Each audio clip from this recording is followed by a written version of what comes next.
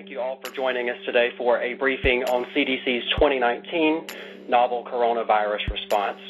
We are joined today by Dr. Nancy Messonnier, Director of CDC's National Center for Immunization and Respiratory Disease. Good morning, and thank you for joining us. I'm joined by Dr. Will Weldon, who is leading our laboratory task force for this response.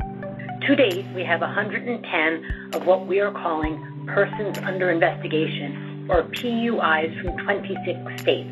This is a cumulative number and will only increase. We still only have five confirmed positives and 32 that have tested negative. There have been no new confirmed cases overnight.